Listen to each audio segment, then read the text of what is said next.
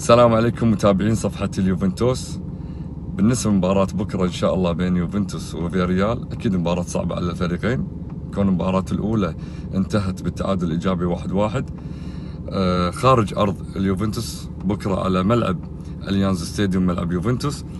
أكيد مباراة صعبة على الفريقين. نقاط القوة بالنسبة لفياريال هي قوتهم في آه، المجموعة. من الناحية الهجومية تجد أن فياريال متوازن عدديا في الناحية الهجومية.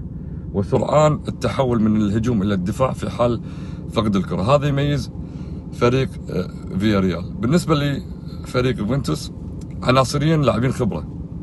أكثر من أربع خمس لاعبين لاعبين خبرة. ومن خلال الأخبار آه، هناك أن ديبالا ومع كيليني متواجدين في دكة البدلاء. ولكن في أرضية الملعب آه، من الناحية الهجومية يوفنتوس قادر على التسجيل في أي وقت بوجود موراتا وفلاهوفيتش في حال تفعيل الأطراف. كوادرادو ومساندة الهجومية بالنسبة لدانيلو وساندرو. فحتى في وسط الملعب آرثر قوة في افتكاك الكرة رابيو قدرة في صناعة الفرص. فأتوقع بالنسبة من لمباراة بكرة. يوفنتوس قادر أنه ياخذ المباراة ويتأهل على حساب فياريال. شكرا لكم.